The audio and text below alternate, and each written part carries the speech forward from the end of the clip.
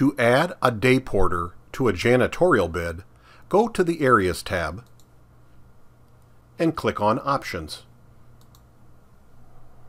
Then, on the left side, under the list of areas, click Add Day Porter.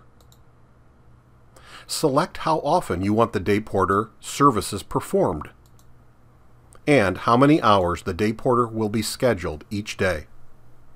The time will automatically be added into the calculated hours at the top of the price page.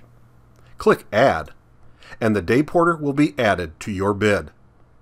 You can use the tasks provided or make changes if you'd like.